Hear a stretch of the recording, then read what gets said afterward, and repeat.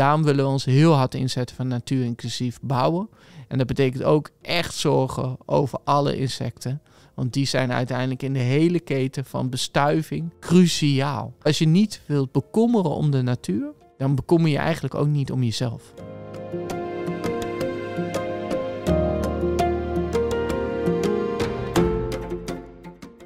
Hey, leuk dat je luistert naar Toekomst voor Natuur, aflevering 7. Ik ben Antoni Stip en in deze aflevering spreek ik met Onno Dwars over het natuurinclusief maken van Nederland en de rol die bedrijven daarbij kunnen spelen. Onno is CEO van Ballas Nedam Development en groot pleitbezorger van duurzaamheid en natuurinclusief bouwen. Onno, van harte welkom in Toekomst voor Natuur. Ja, ik ben blij dat er een toekomst is van natuur. Dus ik ben ook heel blij dat ik bij mag dragen aan deze podcast. Nou, dat is geweldig om te horen. En we gaan het in deze aflevering dus hebben over de, nou, ik kan wel zeggen, grote opgave van het natuurinclusief maken van Nederland. En de rol die bedrijven zoals Pallas Nedam Development daarbij kunnen spelen. Maar ik wil even beginnen bij jou, bij jouzelf. Je bent directeur van het vastgoedbedrijf van Ballas Nedam.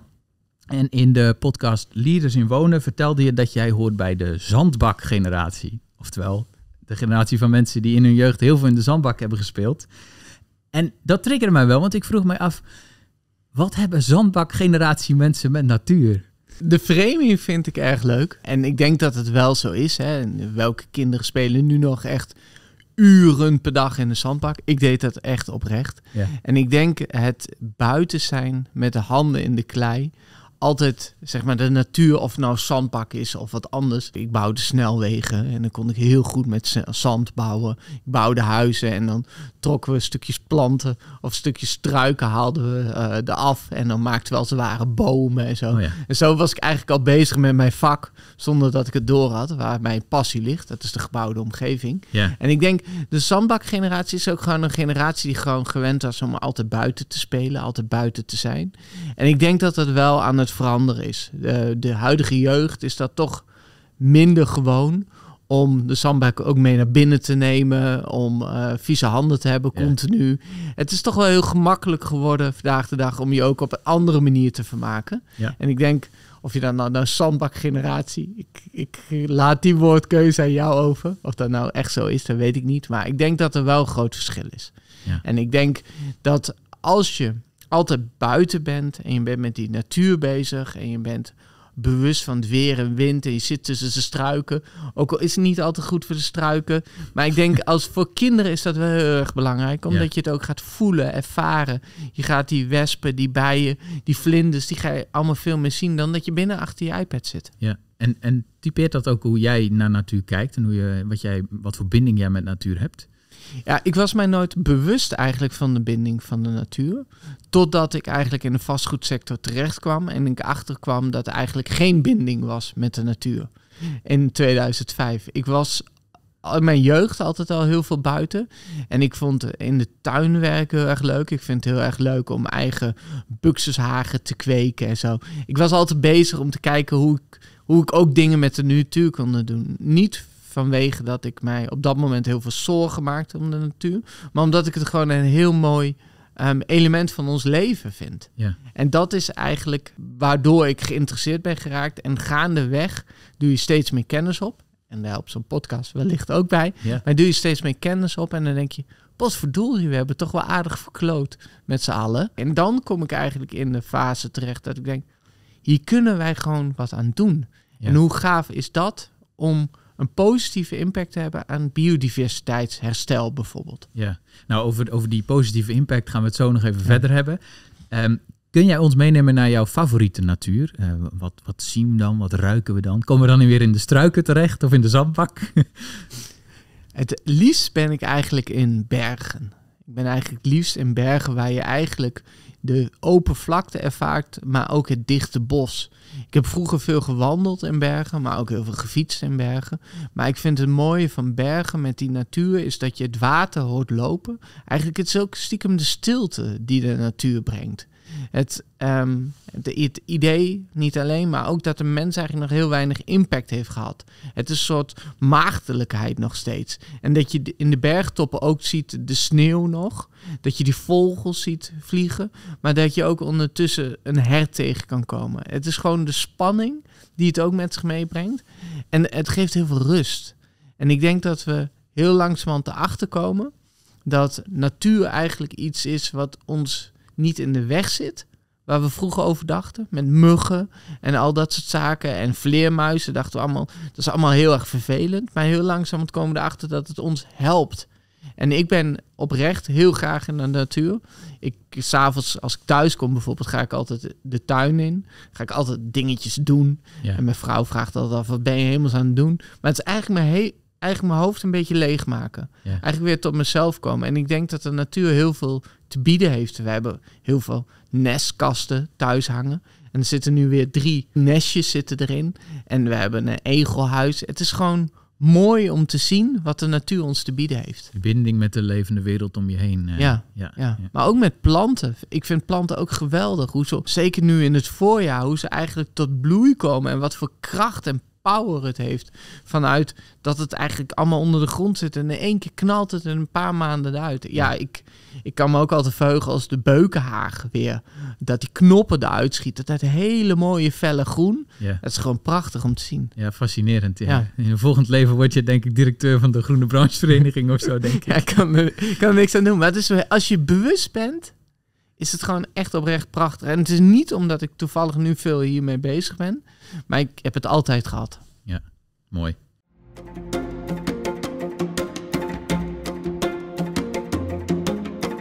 Dan wil ik met jou naar uh, ja, toch het onderwerp Ballas Nedam en Ballas Nedam Development. Wat jullie zoal doen en die positieve impact voor natuur die jullie uh, weten te bereiken.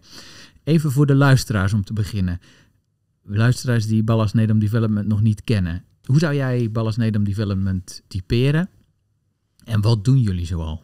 Eigenlijk zijn er eigenlijk twee verhalen. Het is eigenlijk, we zijn een grootschalige gebiedsontwikkelaar. Wij bouwen eigenlijk die woonwijken die we allemaal kennen, die ehm, ehm, aan de randen van de dorpen, steden worden gebouwd. Maar we zijn ook een gebiedsontwikkelaar die binnen in de steden bijvoorbeeld gebieden herontwikkelen, bestaande industrieterreinen, woongebieden maken, of er hotels realiseren, of bestaande gebouwen transformeren naar andere functies. Dus wij voegen eigenlijk vastgoed toe. En ehm, ik ben me heel erg bewust dat door de kennis die ik heb opgedaan, dat niet alles wat wij toevoegen goed is voor de natuur. Ja. Ik kan dat niet, helaas niet anders uh, vertellen.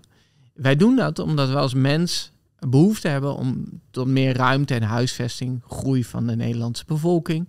We krijgen ook vanuit het buitenland extra mensen erbij, dus wij proberen die mensen huisvesting te geven.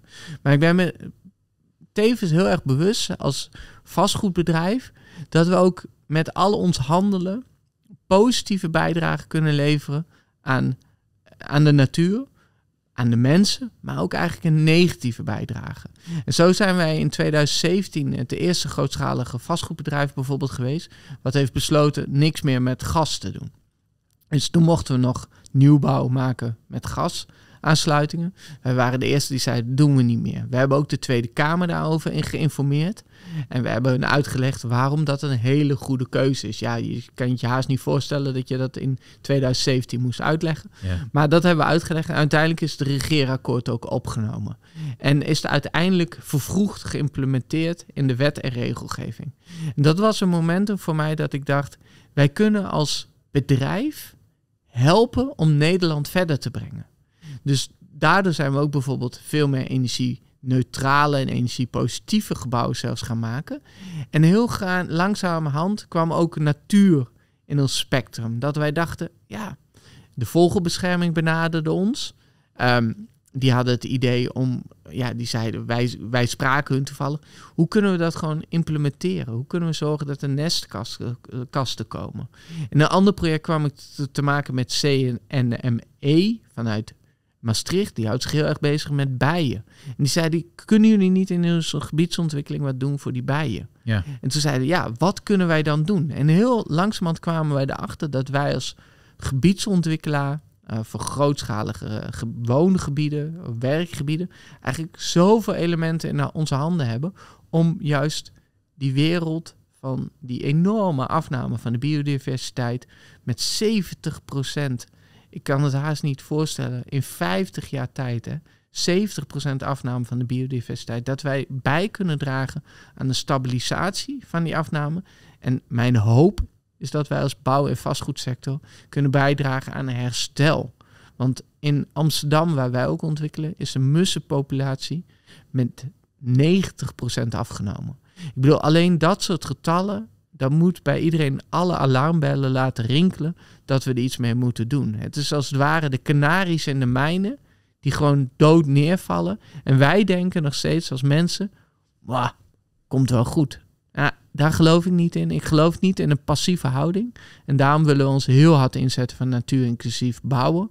En dat betekent ook echt zorgen over alle insecten. Want die zijn uiteindelijk in de hele keten van bestuiving, maar ook voor de voeding voor de vogels en uiteindelijk voor ons cruciaal. Ja. Als je niet wilt bekommeren om de natuur, dan bekommer je eigenlijk ook niet om jezelf. En als je probeert dat te doordenken, wat is, wat is jullie rol dan, zeg maar, die je als, als bedrijf pakt? Je zegt, we zijn gebiedsontwikkelaar. Jullie, ik merk dat je zegt van, ja, eigenlijk zijn we er nog niet zo heel lang geleden achtergekomen dat wij een rol hebben. Hoe pak je die? Ja, het komt eigenlijk door, partijen zoals de Vlinderstichting, maar ook door andere partijen die ons erop attent maken en die licht activistisch zijn. Dat mag, mag gerust genoemd worden, dat vind ik helemaal geen probleem. Die zeggen, ja, jullie kunnen ook dit en dit betekenen. En wij staan altijd open voor dit soort gesprekken. En wat wij dan heel graag willen, in tegenstelling tot beleidsdocumenten, wij zijn uiteindelijk bouwers. Bouwers van een leefomgeving. En wij kunnen eigenlijk morgen, omdat wij zoveel projecten hebben lopen, in een project een verschil maken. En dat is de rol die wij pakken. Wij hebben dat ook gedaan in het project Berkelbos, waar we ineens hebben nestkasten toegepast, hebben we andere beplanting toegepast, zodat we eigenlijk bijdrage gingen leveren aan biodiversiteit. Dat konden we bij wijze van spreken van het moment dat wij nu wat initiëren, kan ik morgen kunnen wij um, ontwerpen aanpassen. Morgen kunnen wij andere besluiten nemen en dingen realiseren. En die rol pakken wij om op korte termijn meteen resultaat te boeken. En wat wij doen is denk ik wel belangrijk. Wat wij proberen te doen is die lessen die wij leren in die projecten. Niet alleen voor dat ene pilotproject van toepassing te verklaren, maar eigenlijk voor onze hele portefeuille. Dus alle projecten die we dan op dat moment in voorbereiding hebben, willen wij dan meteen gaan veranderen. Want als je het in één project kan, is ons motto, dan kan je het in alle projecten ook gaan doen. En als wij het kunnen doen, en dat is de rol die wij als Ballas Nederland Development heel graag willen nemen, als wij morgen natuur inclusief kunnen bouwen, of gisteren beter gezegd, dan kan iedereen het morgen.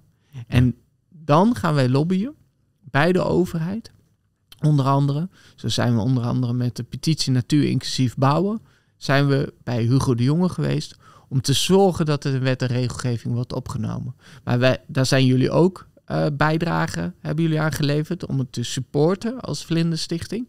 Maar we hebben dat ook met een manifest Natuur inclusief bouwen gedaan. Dus wij laten eigenlijk niet meer los, een soort vervelende, zoemende mug, die, totdat hij geprikt heeft. Dat zijn wij een beetje totdat het in de wet en regelgeving verankerd is.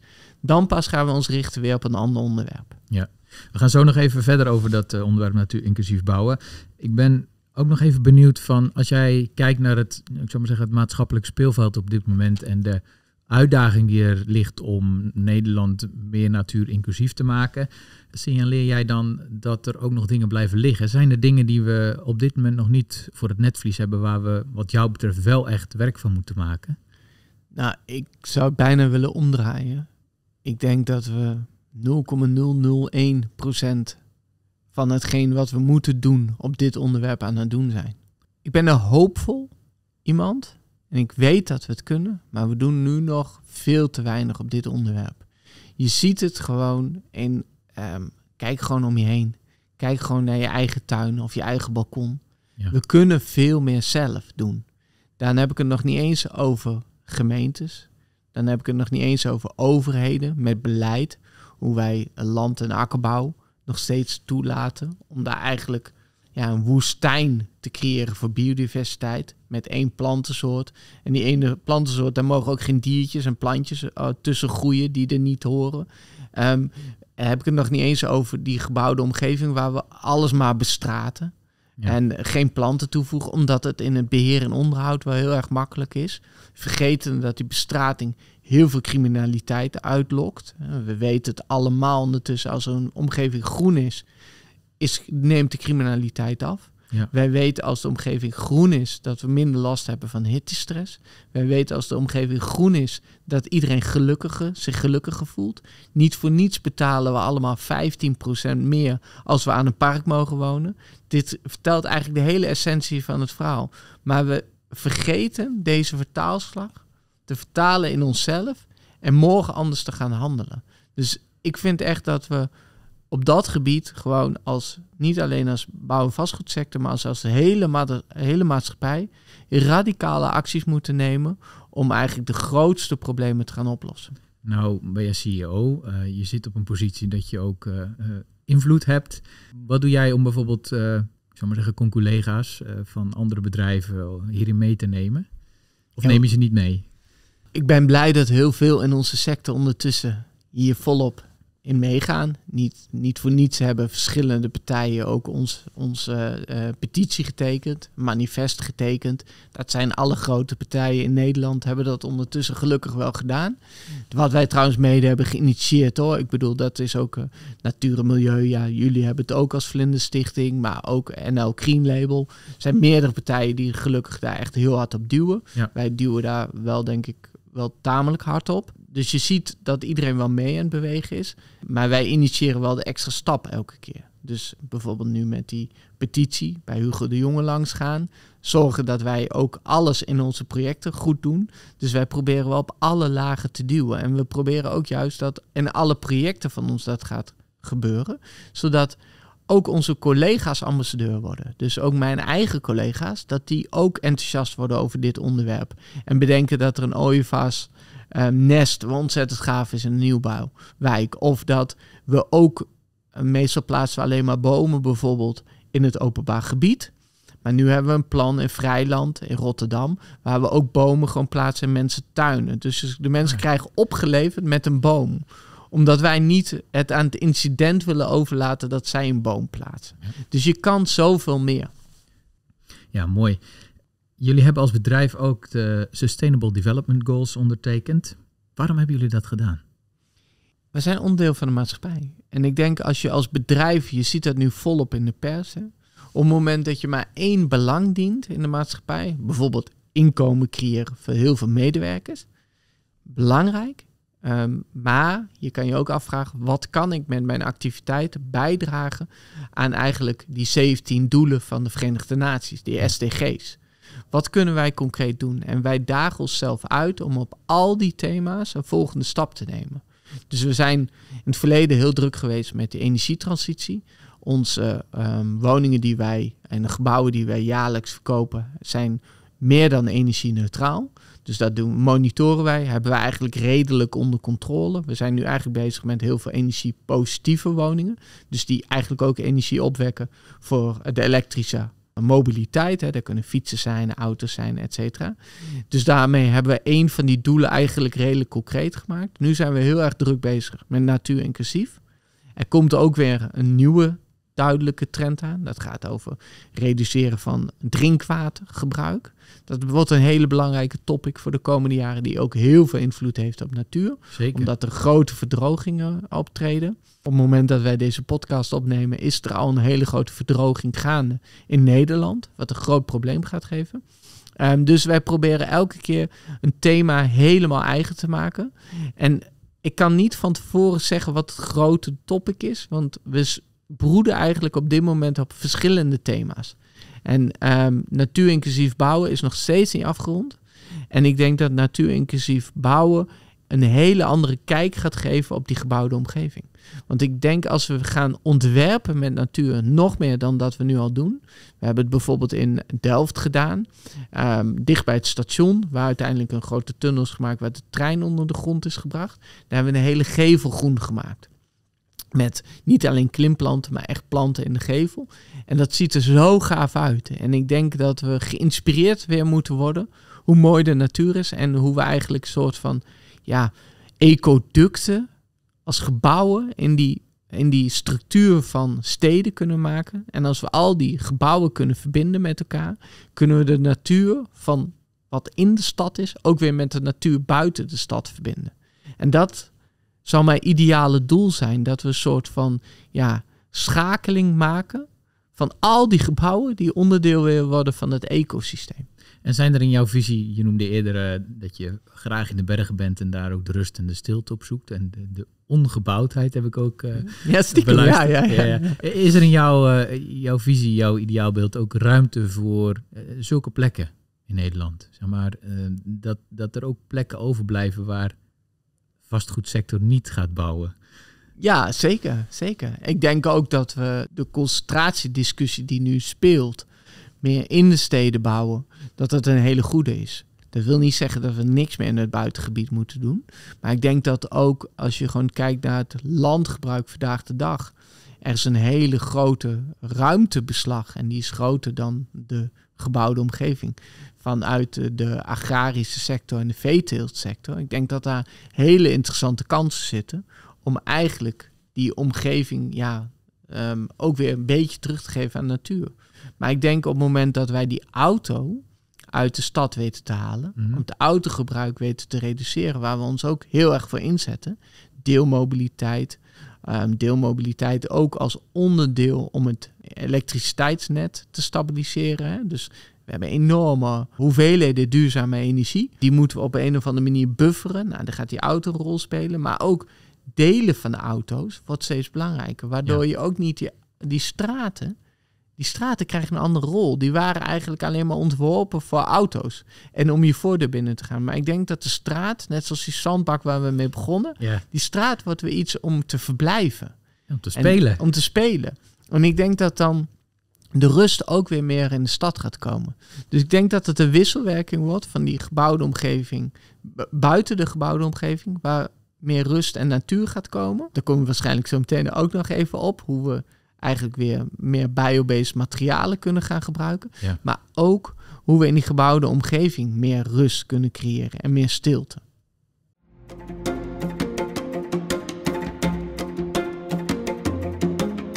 Je hebt al een paar keer het woord natuurinclusief bouwen laten vallen. Ik ben wel benieuwd, welke definitie geef jij daaraan? Wat is dat?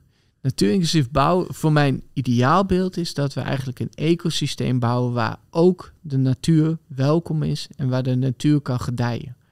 Dat zou mijn eh, ideale manier zijn van natuurinclusief bouwen. Dus dat de insecten, de vogels, maar ook de verschillende plantensoorten plek krijgen om te verwilderen, te zijn en te verblijven, zonder dat wij als mens er continu op ingrijpen.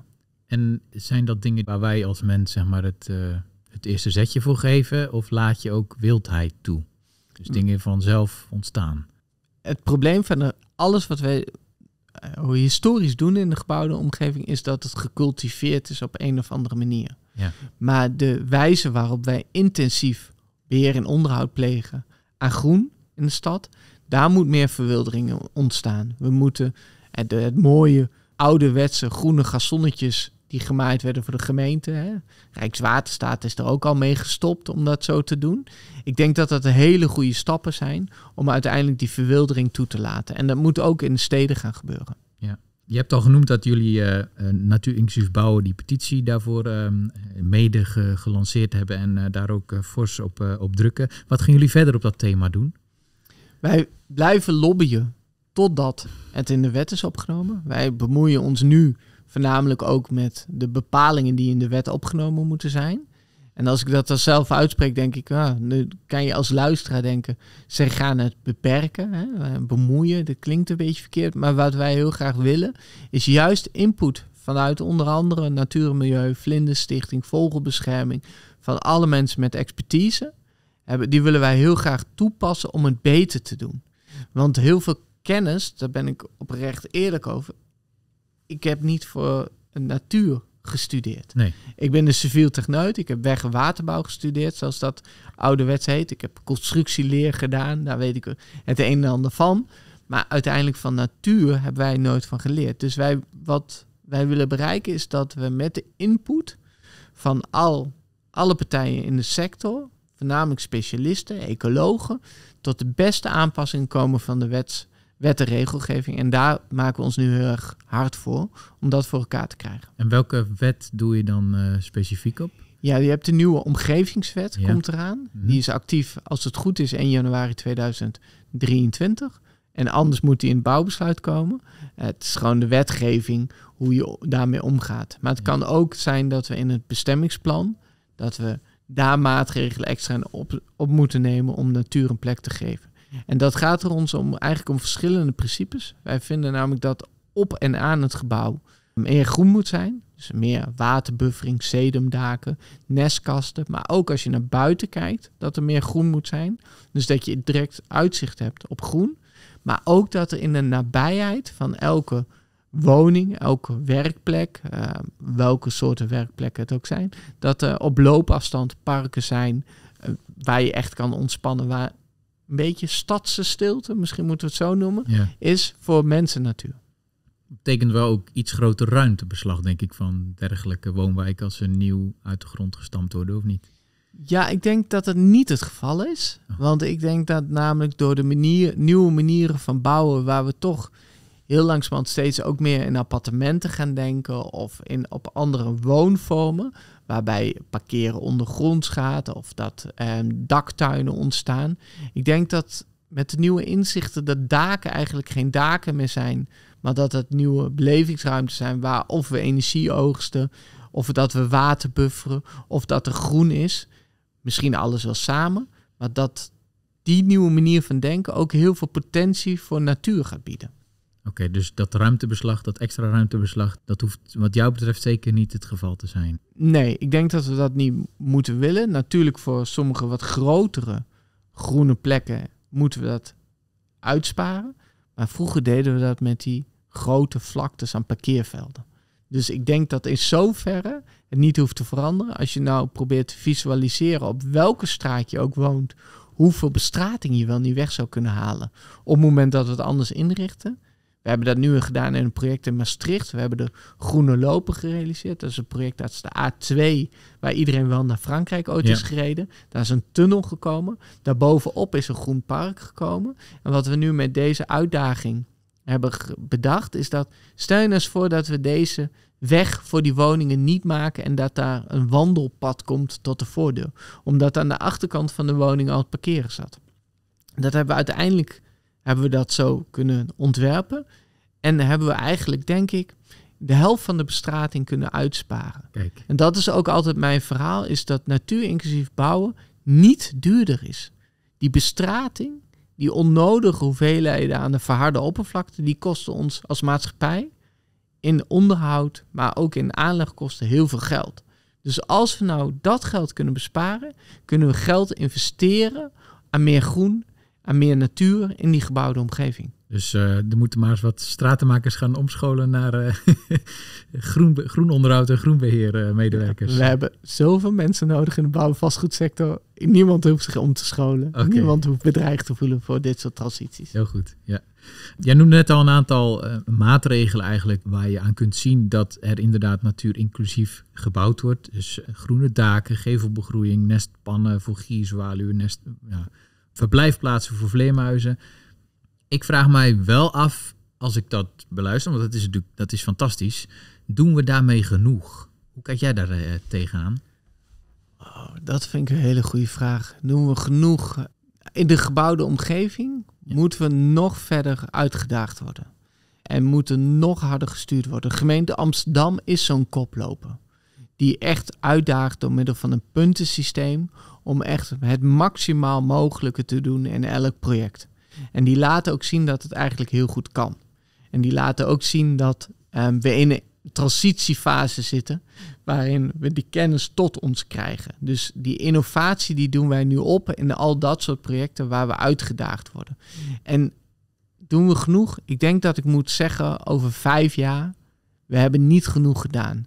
Maar zijn we op de goede weg? is de basisintentie bij, ik durf wel te zeggen, bijna bij alle bouw- en vastgoedbedrijven, gemeentes goed.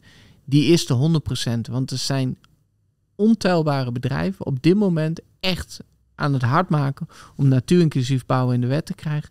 En ik denk dat als we de basis hebben staan, dat we het over vijf jaar weer moeten herijken, omdat we tot inzicht komen dat er inderdaad nog meer moet gebeuren. En, en wat doe jij om te voorkomen dat je inderdaad over vijf jaar moet zeggen, ja, we hebben toch niet genoeg gedaan? Want dan erken je daarmee nu impliciet ook van, ja, ik kan nog wel een tandje harder, of niet? Ik weet nu al dat met de kennis van nu, dat ik onvoldoende weet. En dat ik met die onvoldoende kennis komen wij nu tot de best mogelijke besluiten. Je kunt ook mensen aannemen, toch? Die wel die kennis hebben. Wij, of inhuren. Ja, inhuren. Dat doen wij. Dat doen wij, zeker. Maar ik durf ook te stellen dat zelfs die mensen op dit moment nog niet weten wat er allemaal moet gaan gebeuren. We zitten in een transitie om het steeds beter te doen. En wij doen nu het maximaal mogelijke wat binnen onze kunnen ligt. Zoals ik zei, we planten extra bomen, we maken meer ruimte voor groen, we zorgen dat er minder parkeerplaatsen komen, we doen overal groene daken waar de daken plat zijn, we doen nestkasten, we doen al die dingen doen we. Maar ik weet nu al dat ik over vijf jaar dat wij als bedrijf meer inzicht hebben dat we meer hadden kunnen doen. En dat is eigenlijk wat ik wil vertellen. En daarom moeten we continu onszelf blijven uitdagen en ook continu de verwachtingen bijstellen. Wat nu een tien is, is over vijf jaar misschien een zeven.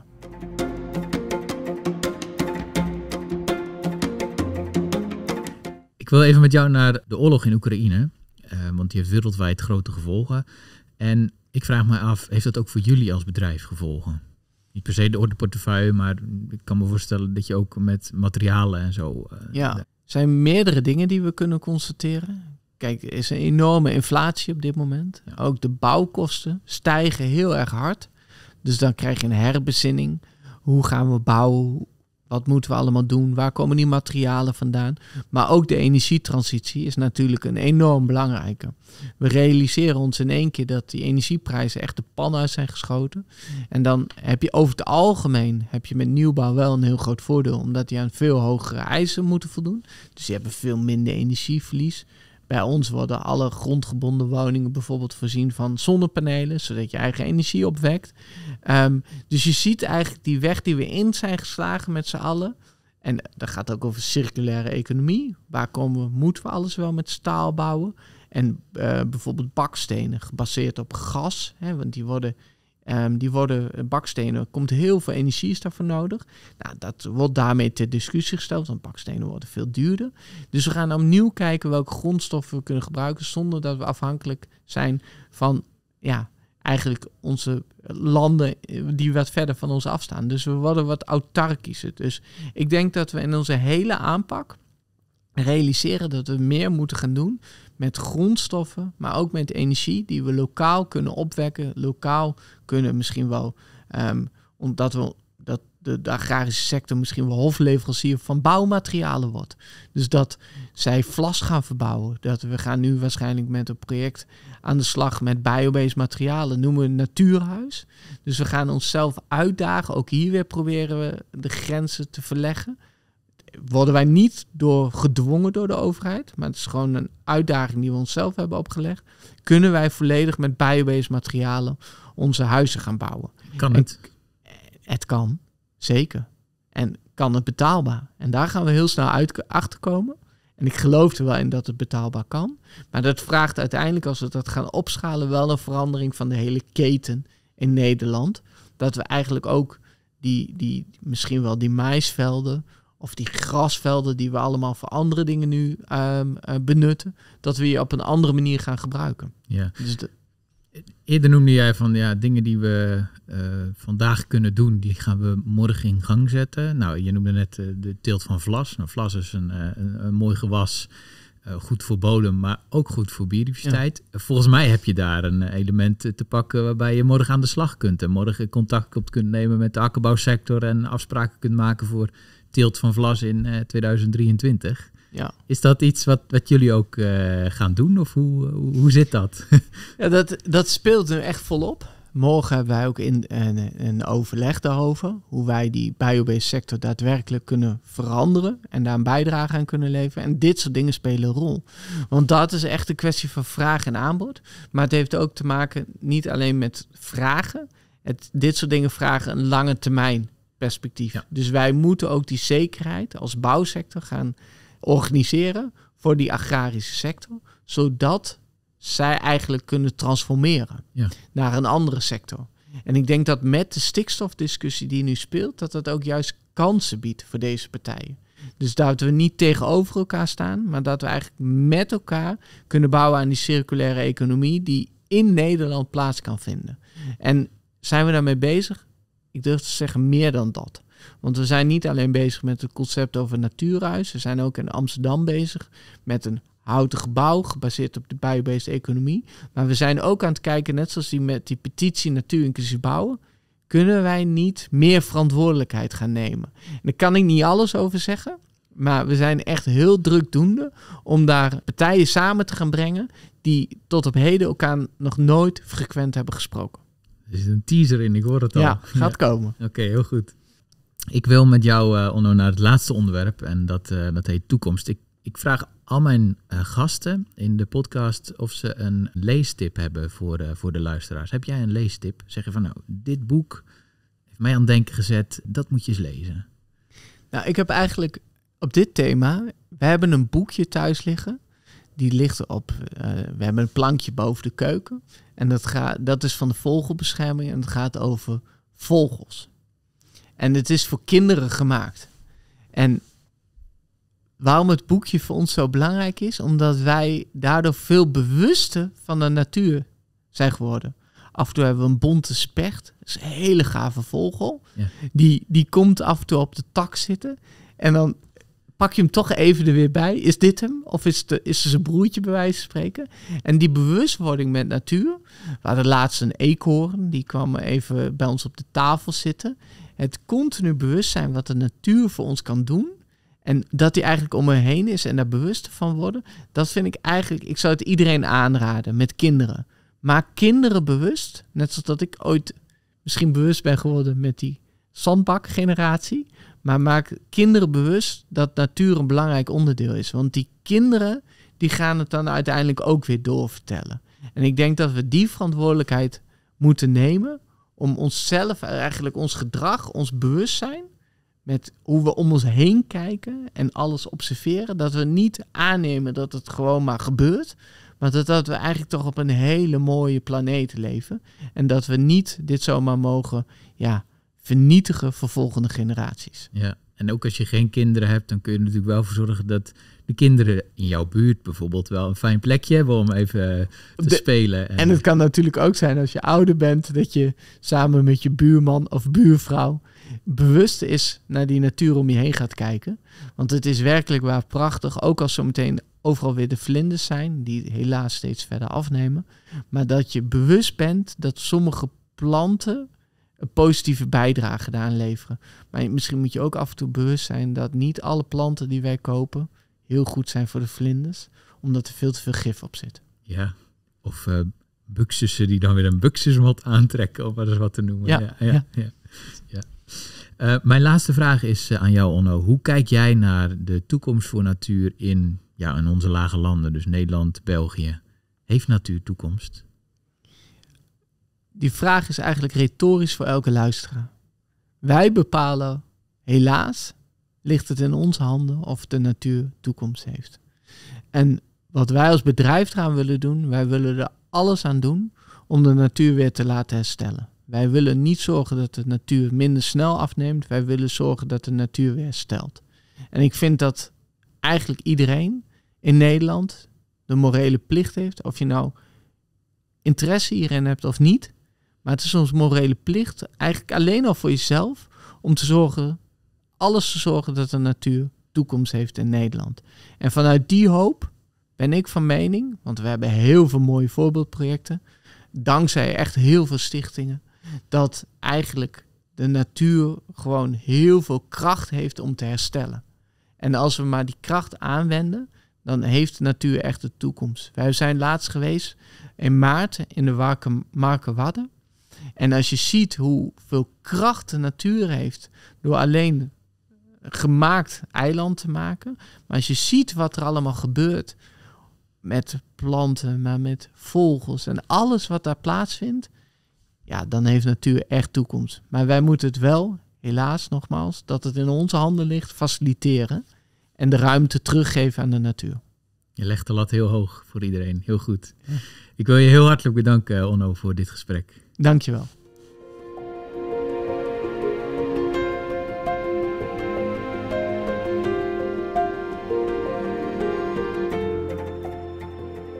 Zo, dit was aflevering 7 van Toekomst voor Natuur.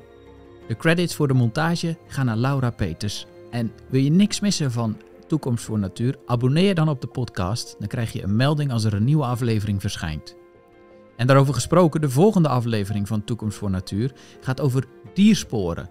En dan spreek ik met Aldrik Pot. En hij is schrijver en spoorzoeker. En ik spreek over zijn fascinatie voor diersporen en hoe ze zijn kijk op het landschap en onze natuur volledig hebben veranderd.